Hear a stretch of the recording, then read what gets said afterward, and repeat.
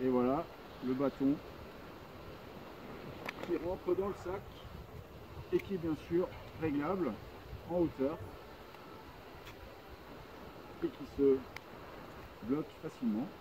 Donc pour le ranger, on appuie sur le petit curseur là, on le rentre, hop, et on met dans le sac.